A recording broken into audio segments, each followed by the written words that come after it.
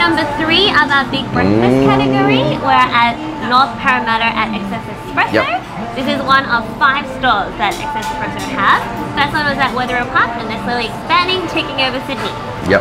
Pretty much what put them on the map, I think, is Yeah. that massive, crazy freak shakes. Yeah. But then their breakfast and also their dishes are also really amazing. Yeah, quite. I mean, quite healthy. I mean, look at that, stunning. I mean, there was a humongous scoop of ice cream. Yeah, but someone had to take heaps of photos. So they have three signature breakfast dishes. One is the XS stack, which has like halloumi. Uh, Not here. Not here, not here. Yep. But they've also got a big breakfast.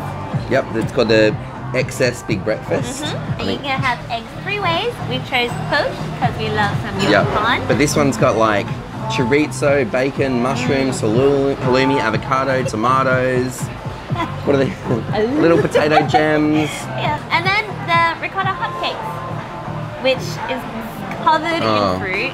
yeah. Comes out piping hot with a huge scoop of ice I think cream. that's the first plum I've seen of the year. Yes. Mm. Excited. And of course we had to get Milkshakes that are a little melty. yeah. So pistachio. Yours slightly healthier. I think. Yep, pistachio milkshake. And this is their The signature. Yeah. all the trimmings. You all can see the it has a giant cronut on top of it.